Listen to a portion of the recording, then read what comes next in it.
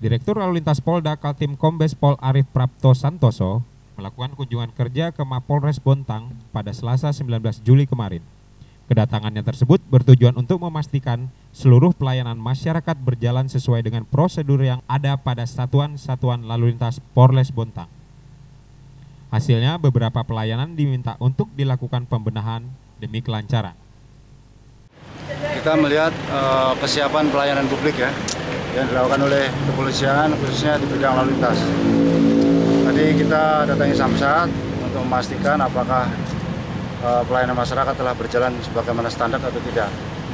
Memang ada beberapa temuan atau catatan untuk perbaikan seperti uh, papan mekanisme untuk antrian, kemudian uh, saran dari masyarakat yang sejauh mana telah ditindaklanjuti. Saya belum belum bisa melihat itu uh, dipertanggungjawabkan. Oleh karena itu saya berikan masukan untuk segera dijawab untuk masukan-masukan dari publik agar publik merasa terlayani dengan baik.